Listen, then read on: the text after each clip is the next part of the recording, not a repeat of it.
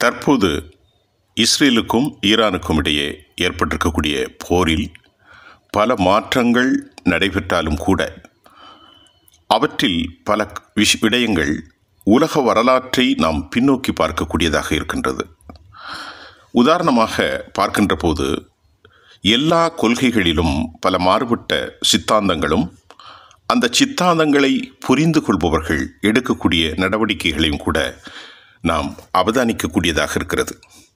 அந்த அடிப்படையில் முஸ்லிம்கள் உலகத்தில் முகம்மது நபி அவர்களை பின்பற்றிய ஒரு சித்தாந்தத்தை ரெண்டு பில்லியனுக்கு கிட்டத்தட்ட மக்கள் பின்பற்றுகிற ஒரு சூழ்நிலையில் அவற்றில் ஒரு மாபெரும் பிளவு இருக்கிறதா என்று கேட்டால் இஸ்லாமிய அடிப்படையின் கொள்கைகள் அந்த பிளவை ஏற்றுக்கொள்ளாவிட்டாலும் கூட அதனை பின்பற்றுபவர்களிடத்தில் இரண்டு பிரிவினர் இருப்பதை நாம் இந்த காணொளியின் வாயிலாக பேச வேண்டிய சூழல் இருக்கின்றது.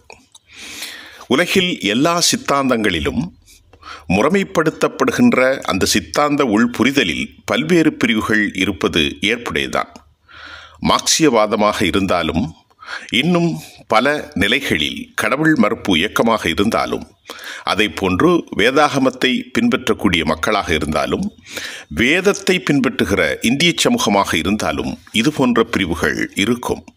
அடிப்படை கூறுகளை அவர்கள் புரிந்து கொள்வதில் ஏற்பட்ட மாற்றங்களும் அவற்றை முன்னெடுத்து செல்கிற குருக்கள் அல்லது மற்றும் அவர்கள் நம்புகின்ற ஒரு தலைமையின் கீழ் மக்கள் தொடர்கின்றதே அந்த பிரிவுக்கு காரணம்.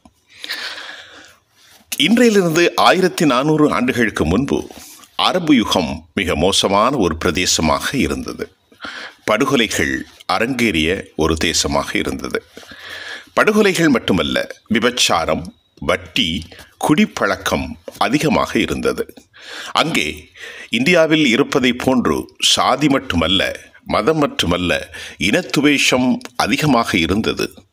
குலப்பெருமை ஓங்கி ஒழித்த ஒரு மண்ணில் பதினாலு நூற்றாண்டுகளுக்கு முன்பு ஒரு மாபெரும் குடும்பத்தில் முஹம்மத் என்பவர் தோன்றுகின்றார். அவர் அந்த மக்களிடத்திலே இறைத்துவத்தை சொல்வதற்கு முன் நான் எப்படிப்பட்டவன் என்பதை கேட்டுத்தான் பின்பு அவர் அந்த செய்தியை சொல்கின்றார். அவருடைய இருபத்தி ஐந்து வயதிலே அவர் அந்த நாட்டில் வாழும் செல்வ சீமாட்டி கதீஜா என்பவரை மணந்து கொள்கின்றார். இளமையில் நல்ல ஒழுக்கமும் நேர்மையும் வாய்மையும் நிறைந்த முகம்மது அவர்கள் பின்னால் நபியாக அறிவிக்கப்படுவதற்கு முன்பு உலகின் பல பகுதிகளுக்கு அவர் செல்லாவிட்டாலும் கூட வியாபார நுணுக்கங்களையும் அந்த நேர்மையும் அந்த மக்களுக்கு மிக பிடித்திருந்தது. ஆகவே அரபு நாட்டில் வாழக்கூடிய மக்காவில் வாழும் மக்கள் முகமதுவின் மீது மிகப்பெரிய நம்பிக்கையும் நேர்மையும் வாய்மையும் உள்ளவராக அவரை மதித்தார்கள். அதற்கு காரணம் அவரது தாத்தா அப்துல் முத்தலிஃப் இறந்து போன அவருடைய தந்தை அப்துல்லா. அது மட்டுமல்ல அவருடைய பெரிய தகப்பனார் அபு தாலிஃப் போன்றவர்களின் ஒரு சீரமைப்பில் அந்த குடும்பம் மக்காவில் பெரும் புகழ் பெற்றது. தனது நாற்பதாவது வயதில் அவர் தனித்திருந்து இந்த மக்களின் மோசமான வாழ்க்கையை உள்ளுணர்ந்து அவர் ஒரு பெரும் பெரும் தனித்த ஒரு தியானத்தில் ஈடுபடுகிறார். அந்த தியானத்தில் அவரை விட வயது மூத்த அவரது மனைவி அன்னை கதிஜா அவர்கள் தன் கணவருக்கு பாரிய அழுத்தத்தின் உடல் வழிகளையும் வயதான காலத்திலும் கூட அவருடைய தனித்த அந்த தியானத்தை அங்கீகரித்து மலைமுகட்டிற்கு மேலே சென்று அவருக்கு சில உதவிகளை செய்கின்றார். ஒரு நாள் அவர் திரும்பி வந்து முகமது சொல்கின்றார் தன் மனைவியிடத்தில் நான் மரணித்து போவேன் என்று அஞ்சுகிறேன். என்னை காப்பாற்றுங்கள் என்று சொல்கின்றார். அவரிடத்தில் கேப்ரியேல் என்ற திருத்தூதர் வந்ததாகவும் அதை அவர்கள் ஜிப்ரியல் என்று அழைக்கின்றார்கள். அவர் தனக்கு தூதுத்துவ செய்தியை சொன்னதாகவும் இதற்கு முன்னால் வந்த இறை தூதர்களை மெய்ப்பிக்கும் இறை தூதனாக நான் அனுப்பப்பட்டேன் என்றும் வணக்கத்துக்குரிய இறைவன் ஒருவனே மட்டும் வணங்க வேண்டும் என்ற சுவச்செய்தியை அரபு மக்களிடத்தில் அவர் அறிவிக்கிறார். அன்று வரை அவர் மீது நம்பிக்கை கொண்ட பல சமூகங்கள் அவரை துவசியம் செய்கிறார்கள். அரபுகளில் பல குழுக்கள் பல சாதிகள் பல்வேறு சித்தாந்தத்தை உள்வாங்கிய சிலை வழிபாட்டு மக்களாக வாழ்ந்த அவர்கள் முகமதுவின் மீது பெருத்த நம்பிக்கை வைத்த போதும் வணக்கத்துக்குரிய இறைவன் ஒருவனை மட்டும் நீங்கள் வணங்க வேண்டும்.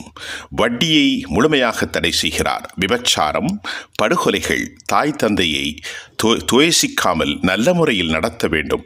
வியாபாரத்தில் நேர்மை நுணுக்கம் எல்லாவற்றையும் அவர் அந்த மக்களுக்கு பிரகடனப்படுத்துவதை அரபுகள் ஏற்றுக்கொள்ள மறுத்தார்கள். அதைவிட அரபுகளுக்கு ஏற்பட்ட கோபம் என்ன தெரியுமா? அவர் அரபுகள் தினமும் ஒரு கடவுளை கடவுள் சிலைகளை வணங்கிக் கொண்ட காலத்தில் முகமது நபி அவற்றை முழுமையாக தடை செய்தார். நான் இறைவனிடத்தில் அனுப்பப்பட்ட உங்களிலிருந்து தேர்ந்தெடுக்கப்பட்ட ஒரு இறைத்தூதன் மட்டுமல்ல. நான் உங்களிலிருந்தே உங்களை போன்றவன். ஆனால் எனக்கு சில சுபச்செய்திகள் வருகின்றது. அந்த செய்தியில் இந்த உலகை படைத்த சர்வ வல்லமை உள்ள ஒரே இறைவனை வணங்குங்கள். அவன் ஒரு குடும்பத்திற்கோ ஒரு இனத்திற்கோ ஒரு மொழிக்கோ ஒரு சாதிக்கோ ஒரு மதத்திற்கோ உருவானவன் அல்ல. சகல மக்களின் மனித இனத்தை படைத்து பரிபாலிக்கக்கூடிய ஏக இறைவன் ஒருவனை வணங்குங்கள் என்று சொன்னார் இதுதான் அடிப்படை தத்துவம். இந்த தத்துவத்தை அவருக்கு பின்னால் அவருடைய தோழர்களான அபூபக்கர் சித்திக் அவர்களும் உஸ்மான் மற்றும் அலி போன்றவர்களும் உமர் போன்றவர்களும் மக்களிடத்திலே பிரகடனம் செய்தார்கள். இங்குதான் சியா சன்னி முஸ்லிம்கள் பிளவு ஏற்படுகின்றது. முகமது நபியினுடைய மரணத்திற்கு பின்பு அவருடைய மாமனாரும் மிகப்பெரிய வல்லமை கொண்டவராகவும் பெரும் கொடையாளியாகவும் பார்க்கப்பட்ட அபுபக்கர் ஆட்சிக்கு வருகிறார்.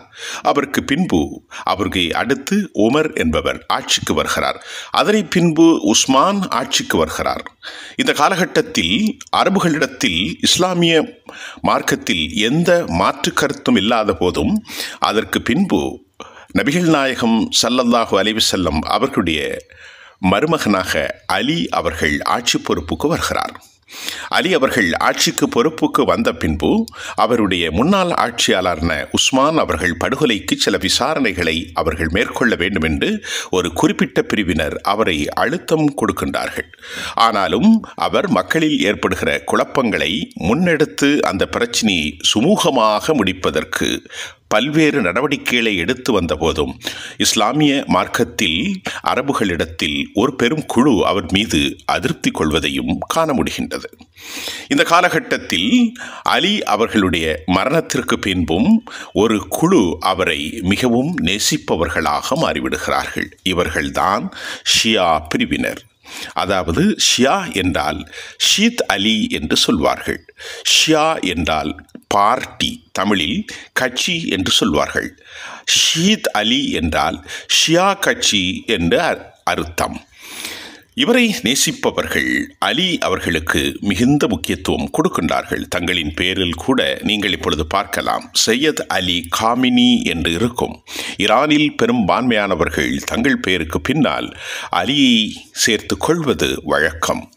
இந்த குறிப்பினர் இந்த குறிப்பிட்ட பிரிவினர் அலியை நேசிக்க ஆரம்பித்து கொஞ்சம் கொஞ்சமாக இந்த நேசம் ஒன்றல்ல ரெண்டல்ல ஒரு பெரும் இனக்குழு ஷியா பிரிவாக மாறிவிடுகிறார்கள். உலகில் வாழும் இஸ்லாமியர்களில் எண்பத்தஞ்சு விழுக்காடு மக்கள் சன்னி பிரிவை சார்ந்தவர்கள். சன்னி என்றால் சுன்னா என்று அர்த்தம். அதாவது வழி என்ற அர்த்தம். அதாவது இறைத்தூதர் முகம்மது சல்லல்லாஹு அலிஃபசல்லம் அவர்களின் வாழ்வியலை அப்படியே பின்பற்றுபவர்கள்தான் சுன்னா என்று இஸ்லாமியர்கள் அழைக்கின்றார்கள். அவற்றிலிருந்து சிலர் மாறுபட்டால் அவர்களை இஸ்லாமிய விளிம்பியங்களுக்கு அப்பாற்பட்டவர்களாக உலக முஸ்லிம்கள் கருதுகிறார்கள். இந்நிலையில் சீத்தலி என்று அழைக்கப்படுகின்ற ஷியா பிரிவினர்கள் அலியைத்தான் நபிகள் நாயகத்தின் மரணத்திற்கு பின்பு இறைத்தூதராக வர வேண்டுமென்றால் தகுதியானவர்கள் என்றும் அவர்தான் ஆட்சிக்கு வந்திருக்க வேண்டும் என்றும் அவருக்கு பின்னால் அவரது மகன்களான ஹசைன் ஹுசேன் ஹசன் ஹுசேன் போன்றவர்கள் ஆட்சிக்கு வர வேண்டும் என்றும் அவர்களின் குடும்பத்தின் மீது எல்லையற்ற பற்று கொள்கிறார்கள். ஆட்சி என்பது முகமதுவுக்கு பின்பு முகமது சல்லல்லாஹு அலிவிசல்லம் அவர்களின் வாரிசுகளான அலி மற்றும் ஹசன் ஹுசைன் போன்றவர்களுக்கு உரித்தானது என்ற நம்பிக்கையின் பால் உருவானதுதான் ஷியா. சன்னா முஸ்லீம் சுன்னி முஸ்லீம் என்று அழைக்கப்படுகிற இஸ்லாமிய பிரிவினர்கள் உலகில் எண்பத்தி ஐந்து சதவீதத்திற்கு மேல் உலகம் முழுவதும் வாழ்ந்தாலும் வெறும் பத்திலிருந்து பதினைந்து சதவீதத்திற்கு உட்பட்டவர்கள்தான் ஷியா முஸ்லீம். அதாவது ஈராக் லெபனான் சிரியா ஈரான் மற்றும் ஓமன் போன்ற பல்வேறு நாடுகளிலும் உலகில் இந்தியாவிலும் கூட அவர்கள் வாழ்கிறார்கள். இலங்கையிலும் கூட ஷியா பிரிவினர்கள் இருக்கிறார்கள் ஆப்கானிலும் கூட இருக்கின்றார்கள். இந்த மோதல் இஸ்லாமியர்களுக்கு இடையே சில இடங்களில் வெடித்து அது பெரும் போராக மாறிவிடுகின்றது. ஷியாக்கள் அவர்களின் வழிபாட்டுக்கள் அதாவது நீங்கள் புரிந்து கொள்ள வேண்டிய இடத்தில் சொல்ல வேண்டுமென்றால் குருக்களை மௌலானாக்களை அவர்கள் முன்னெடுக்கின்றார்கள். ஷியா பிரிவினரில் பதினோருக்கும் மேற்பட்ட அல்லது அதனோடு மட்டுப்படுத்தப்பட்ட இமாம்கள் என்று அழைக்கிறார்கள். அதாவது இந்த குருக்கள் இஸ்லாமிய வழித்தோன்றுதலாகவும் அவர்களால் அடையாளம் காணப்பட்ட பல்வேறு வாழ்வியல் நெறியை பின்பற்றுவதே ஷியாக்களின் உள்நோக்கமாக இருக்கின்றது. ஆனால் அடிப்படையான தத்துவர்த்தமான திருக்குர்ஆனையும் நபிகள் நாயகத்தினுடைய கொள்கைகளையும் ஓரிரை மார்க்கத்தையும் ஏகத்துவத்தையும் ஏற்றுக்கொண்ட ஷியா பிரிவினர். அவர்கள் இது போன்ற ஒரு வழிகாட்டுதலை தங்கள் வாழ்வியல் நெறியாகவும் அலி ஹசன் ஹுசைன் போன்றவர்களை முதன்மைப்படுத்துவதாகவும் அதாவது இமாம்கள் என்ற மதக்குருக்கள் போன்றவர்களின் வழிகாட்டுதலை ஏற்று வாழ்வியலை நெறிமுறைப்படுத்தினால் தங்கள் மரணத்திற்கு பின்பு எல்லையற்ற வாழ்க்கையில் நுழையலாம் என்றும் ஷியாக்கள் உறுதியாக நம்புகின்றார்கள். இந்த நம்பிக்கையின் பால்தான் ஷியா சுன்னா என்று அழைக்கப்படுகிற சன்னி பிரிவினர் இரண்டாக உலகில் இருக்கின்றார்கள். தற்போது இஸ்ரேலிய காலகட்டத்தில் அலி கோமினி அவர்களின் அறிக்கையில் மத நம்பிக்கையை தாண்டி லா இலஹ இல்லல்லா என்று சொல்கிறார்கள். கூறிய இறைவன் அல்லாஹுவை தவிர வேறொரு கடவுள் இல்லை என்று நம்பக்கூடிய ஷியாக்களும் சன்னா முஸ்லீம்கள் சுன்னி முஸ்லீம்களும் ஒன்றிணையும் காலம் நமக்குள் இருக்கும். இந்த வேறுபாடுகளை மறந்து யூத சியோனிச கொள்கைக்கு எதிராக போராட வரவேண்டும் என்றும் அழைப்புகளை விடுத்து கொண்டிருக்கிறார்கள்.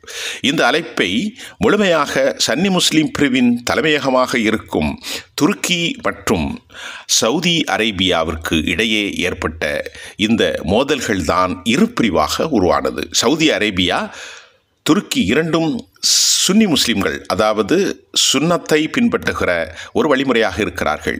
உலகில் வாழும் சன்னி முஸ்லிம்களின் தலைமையகமாக சவுதி இருக்கிறது.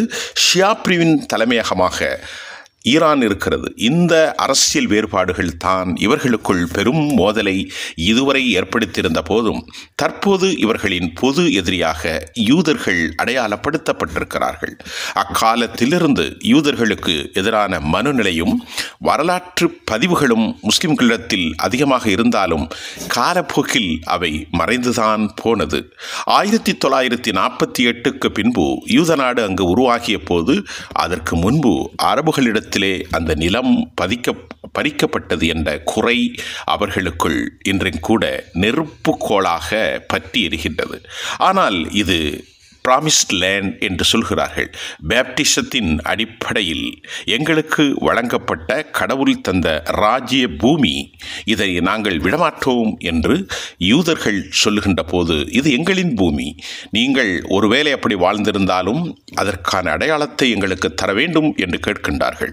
நாங்கள் ரெண்டாயிரம் ஆண்டுகளுக்கு முன்பு ஆயிரத்தி எட்நூற்றி தொண்ணூத்தெட்டு ஆண்டுகளில் இந்த பூமியை விட்டு உலகின் பல பகுதிகளாக அதாவது சியோனிஸ்டுகள் என்று அழைக்கப்படுகிற யூதர்கள் பிரிந்து போன பின்பு அமெரிக்கா மற்றும் ஐரோப்பிய நாடுகளின் கூட்டுச்சதியால் இந்த நிலப்பரப்பு எங்களிடத்திலே பறிக்கப்பட்டது என்ற அரபுகளின் குமுறலுக்கிடையே தற்போது ஷியா மற்றும் சன்னி முஸ்லீம் குழுக்கள் ஒன்றிணைவதை நாம் காண முடிகின்றது. இந்த நேரத்தில் கடுமையாக நாற்பத்தி ரெண்டாயிரத்திற்கும் மேற்பட்ட பலஸ்தீன பொதுமக்களும் தொண்ணூற்றி ஆறாயிரத்திற்கும் மேற்பட்ட பொதுமக்கள் ஊனமுற்ற நிலையிலும் பலர் வாழ்விழந்து குழந்தை குட்டிகளோடு அல்லல் படுகிற ஒரு காட்சி சர்வதேச சமூகத்தை கண்ணீர் வடிவக்கின்றது. இந்த நேரத்தில் அரசியலை தாண்டி நாம் ஒன்றிணைய வேண்டும் ஷியா சன்னி முஸ்லீம் என்று சுப்ரீம் லீடர் அயதுல்லா கோமினியின் கருத்து உலக அளவில் பெரும் விவாதமாக ஆகியிருக்கிறது. சவுதி அரேபியா அதை போன்று துருக்கி அதே போன்று ஆப்கானிஸ்தான் போன்ற இஸ்லாமிய வலுவான சன்னி பிரிவை ஆதரிக்கக்கூடியவர்கள் இந்த நேரத்தில் அனைவரும் யூதர்களை எதிர்க்கும் ஒரே நோக்கில் ஈரானுக்கு பின்னால் அவர்கள் பயணிக்க தயாராக இருக்கிறார்கள் என்றாலும் கூட ஆனால் நேரடியாக அவர்கள் வருவதற்கு தயாராக இல்லை. இருந்த போதிலும் இன்று காலை ஜோர்டான் ஈரானுக்கு ஆதரவாக தன் வான்வெளி பரப்பை நிச்சயமாக யூதர்கள் பயன்படுத்த நாங்கள் அனுமதிக்கப் போவதில்லை என்று அறிவுரை சொல்லியிருக்கிறார்கள். அதே போன்று ஷியா பிரிவின் முழுமையான யமன் ஹவுதிக்களும் கூட ஈரானின் கரங்களை வலுப்படுத்தி வரும் நேரத்தில் ஈரானின் ஒட்டுமொத்த ஷியா பிரிவினுடைய தலைவர்கள் சன்னி பிரிவினர்கள் ஷியா என்ற அடையாளங்களை மறந்து இஸ்லாம் என்பதை ஏற்றுக்கொண்டு ஒரே கடவுள் ஒரே முகம்மது ஒரே குரான் என்ற அடிப்படையில் இணைய வேண்டும் என்றும் அவர்கள் வேண்டுகோள் விடுக்கிறார்கள். காலம் காலமாக அமெரிக்க மற்றும் மேற்கத்திய நாடுகள் இப்பிரிவினை தங்களுக்குள் நெருப்பாக மூட்டி எம்மை பிரித்த காலத்தில் தற்போது யூத சியோனிசத்திற்கு எதிராகவும் மனித வேறுபா மனிதகுல இன ஒற்றுமைகளுக்கு வேறுபாடுகளை களைந்து இந்த பிரிவினர்கள் இணைய வேண்டும் என்ற அலி அப்துல் சயீத் காமினியுடைய அறிக்கையை மறைமுகமாக சன்னா என்று சுன்னி முஸ்லீம்கள் என்று அழைக்கப்படும் அதாவது சன்னி முஸ்லீம் பிரிவினர்கள் ஏற்றுக்கொள்கிறார்கள்.